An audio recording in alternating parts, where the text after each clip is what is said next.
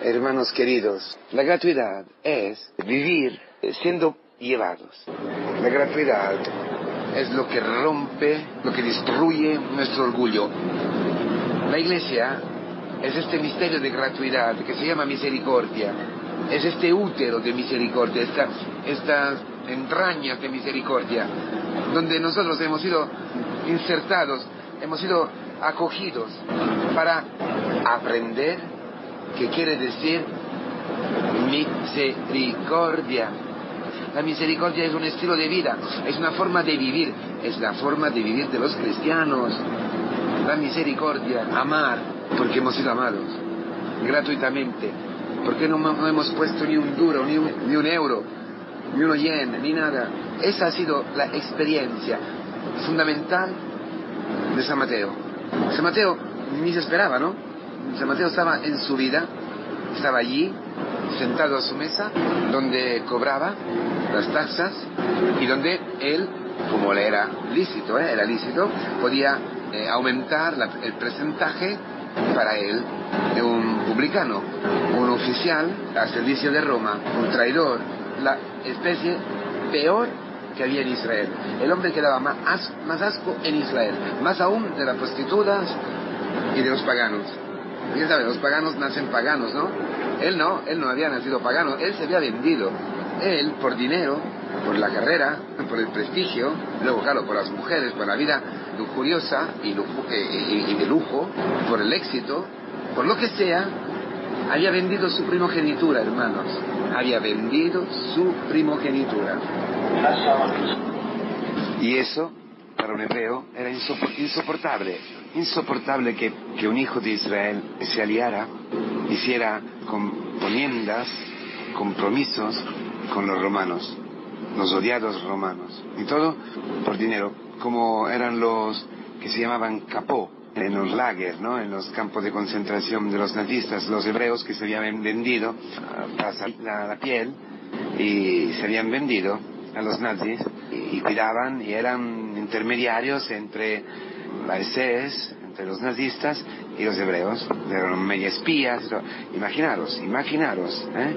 este hombre no esperaba nada, estaba, quizás ni la conciencia le remordía, quizás se había sentado seguramente sobre su, conciencia. Y la cosa más, más fuerte es que seguramente él no se estaba preparando al encuentro con Cristo, ¿eh? Ha sido algo de repente, ha sido algo improviso, algo imprevisto. Porque siempre Jesús llega en el momento imprevisto, lo dice, ¿eh? lo dice cuando habla de la parusía. Pero si ponemos en el marco, por ejemplo, de este Evangelio, también las palabras que Jesucristo dice sobre su última venida, sobre su parusía, entonces entenderemos que no está hablando solamente, no está hablando solamente de la parusía final, del último tiempo, sino que Jesucristo, su estilo, es exactamente eso, la sorpresa, para que nadie se pueda levantar, para que nadie pueda decir, oye, yo he implorado, yo he pagado, yo me he esforzado, yo he hecho el camino, yo he... No, no, no, no, no, no, no, no es así. La misericordia o es gratuita o no es misericordia. La misericordia es gratuita. La misericordia está ligada a las entrañas, ¿no? Al útero. Y el niño que aparece en un útero no, no ha hecho nada para aparecer allí, ¿no? Es el fruto de un amor, es el fruto de una relación de amor de otros dos. Él no ha dicho, oye, quiero nacer, me estoy esforzando para nacer. No ha sido así. Ha sido pura gracia, ha sido un misterio de la gracia, un misterio de la gratuidad, como la creación del hombre, como todo, ¿no? Así es, hermanos queridos. El encuentro con Jesucristo siempre nos sorprende, porque no es el fruto de nuestra preparación. San Pablo iba a matar. El paralítico no ha hecho nada, ni siquiera podía hablar. Por eso, la historia de Mateo es una historia de misericordia. Nunca Mateo ha sido dejado totalmente por Dios. Dios lo ha querido siempre. Dios ha dejado Mateo libre de hacerse daño y de hacer daño, y es algo que nos escandaliza mucho. ¿Pero para qué?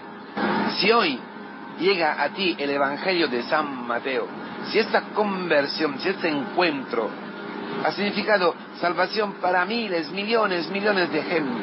Pero ¿quién podía decir esto? ¿Quién podía imaginar esto viendo Mateo allí despreciado en su dinero, en sus cuentas, en sus traicionamientos, en sus adulterios? ¿Quién podía imaginarlo? ¿Quién puede imaginarlo mirándote a ti, mirándome a mí, mirando a tu hijo, mirando a aquella persona, aquel hermano de la comunidad que está allí en un lío tremendo? ¿Quién puede imaginar eso? ¿Quién? Nadie, ¿verdad? Solamente Cristo. Ese es el punto. Porque Cristo tiene una mirada diferente. Lo miró y le habló. Que es decir, lo amó. Con una mirada, Cristo lo ha amado. Con una mirada, Cristo ha visto este hombre, el hombre creado por Dios, destruido por el pecado, pero también dentro de Mateo ha visto a sí mismo crucificado. El hombre, eche homo, el hombre consignado, entregado a la muerte, para que todos los hombres pudieran pudieran volver a ser el hombre que Dios ha creado, libre. Y eso solamente se puede dar en la gratuidad. Son los enfermos que necesitan el médico, no los sanos. No los que pueden andar, no los que pueden, no, no, no, los que no pueden andar, los que no pueden hacer nada, los que, los que no conocen ni siquiera qué enfermedad tienen. Y es de repente. Porque eh, la sorpresa es la característica, la firma de la misericordia de la gratuidad. Cristo no espera nada de nosotros. Cristo sabe cuándo encontrarnos. Claro que allí Mateo era libre. Y voy a poder decir no. Pero ¿por qué Mateo no ha dicho que no? Porque ¿cómo puedes decir no? ¿A quién se acerca? A Mateo, a ti, a mí, cuando somos sucios, cuando somos impresentables, cuando somos inaceptables, cuando solamente lo que suscitamos en los demás es odio, rencor, asco, Imagínate que ahora tú vayas por la calle, yo vaya por la calle, así de cura, aquí en Japón, con la familia o delante de ti, con una fotografía muy particular que llegue hasta los particulares de mi corazón.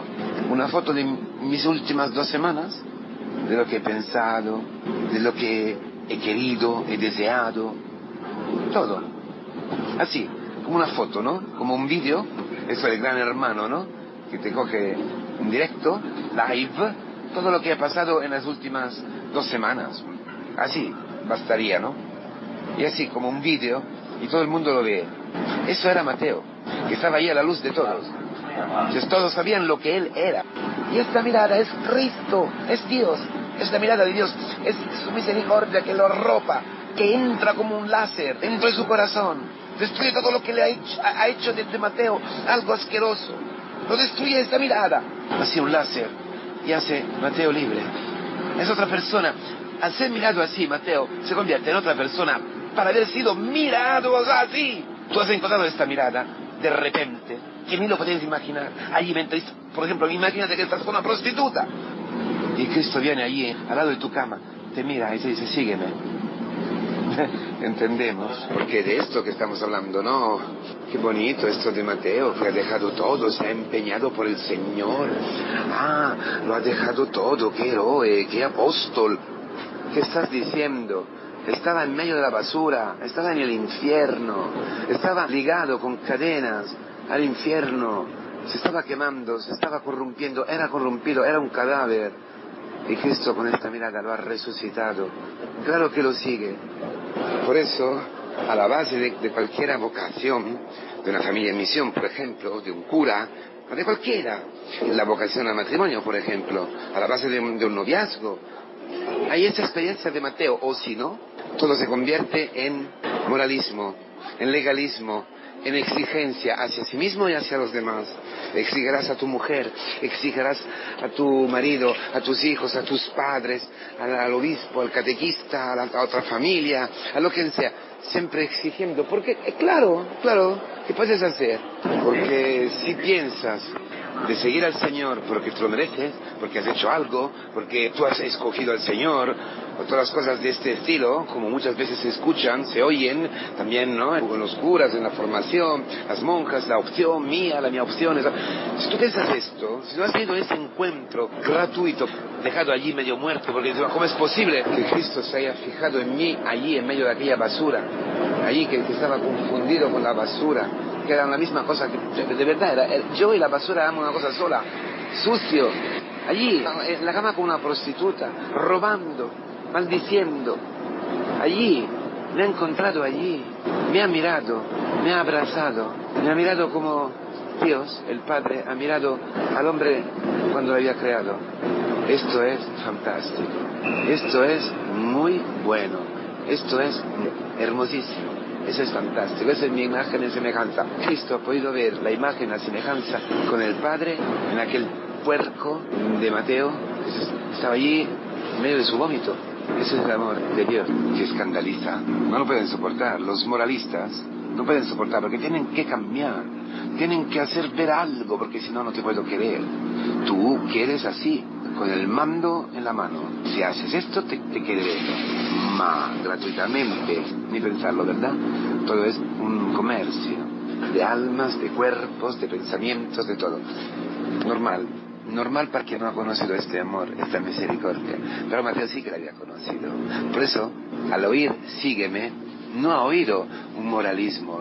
Tantas veces nosotros pensamos, qué lástima, ¿no? Seguir al Señor, qué duro es. ¿Cómo puedes decir qué duro? Qué duro es seguir al demonio, qué duro es seguir al pecado, qué duro es estar sentado allí en el mostrador a robar el dinero, a robar la dignidad del otro, a robar la dignidad de tu novia, esto es duro, no la castidad. Es duro acostarse con tu novia y, matarla el, alma sin respetarla, aprovechándote de ella, hiriéndola, o al revés, o tu mujer que sea, o tu marido. Esto es duro. Para Mateo, eh, oír sígueme. Ha sido escapa conmigo, ven conmigo. Ha sido la liberación. Ha sido como decir, sal de aquí, que se está muriendo todo, como una, una casa toda me llamas, una casa donde está un incendio, donde está quemando todo, y viene Cristo y te dice, sal conmigo, ven conmigo, como un bombero, ¿no? Que viene y te dice, sal conmigo. Tú dices, no, no, no, no, no. Es así la vocación, es así la llamada, siempre, siempre. La llamada al matrimonio, la llamada al presbiterado, la llamada a cualquier, la llamada a entrar hoy en este día, que es una vocación, en el trabajo de todos los días, en limpiar los cuidados de los niños, ir al trabajo, estar enfermo en una silla porque estás, eres anciana, estar en la misión, el cura, en una misión difícil. Entonces para Mateo, haber experimentado esta misericordia, este amor, y finalmente esto ha hecho resonar, retumbar en, su, en fondo de su corazón lo que él tenía de verdad, lo que era él, un hombre, nacido para ser libre, no para vivir en aquel pecado. Entonces, ¡bah! enseguida, claro, es como si hubiera ganado todo, todo, salvado de la muerte, salvado de una operación, salvado del cáncer, no sé, no sé cómo explicarme. Entonces, claro que enseguida, con el Señor, enseguida, ¿y qué ha hecho?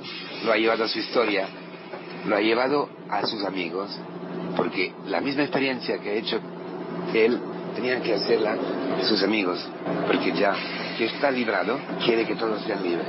Que ha sido librado gratuitamente, no vive la misión como un trabajo, ni neurosis, ¿eh? Tengo que hacer, tengo... no, no, no, no, ¿qué tengo que hacer? ¿Qué es mejor hacer? Toda tontería, tonterías. ¿Ha pensado algo, Mateo? ¿Qué haré con los paganos? ¿Qué haré con mis amigos? Es mejor esto, no es tiempo, no el tiempo. Ha ido al punto, ha llevado a Cristo. Enseguida ha traído a Cristo en medio de aquella casa con pecadores, con prostitutas, con ladrones, con publicanos. Esa es la misión a la cual estamos llamados. Pero la misión es un fruto, es, es algo que brota de este encuentro gratuito, en la gratuidad, de este amor loco de Cristo para ti, para mí. Y esto ya Cristo, te sigo, pero siguiéndote, por favor, pasamos por casa de este, de este, de este, de este, de este. Que vivo contigo, yo estoy contigo, me, has librado. Es normal que vaya a todos, a mi madre, a mi padre, a mis hijos, a, mi, a, a todos, no con mediaciones culturales. Sí, vale, claro, un té, un café, una, una pasta, una paella, lo que sea pero al punto, al punto, Cristo, Cristo, Cristo, Cristo. No está escrito cuántos de estos la, han seguido, han ido, atrás de Cristo, pero sí que todos eran enfermos que necesitaban médico. Y Cristo eso bendice. Esto quiere, más allá de todas las reglas, más allá de todas las leyes, el amor con el que nos ama. Llega a través de nosotros, salvados, graciados, sacados de la muerte, a todos los hombres que todavía están en la muerte. Esta es la misión de la iglesia, esta es tu vida, esa es mi vida. Ese es el deseo, la voluntad de Dios para todos los hombres. Feliz día.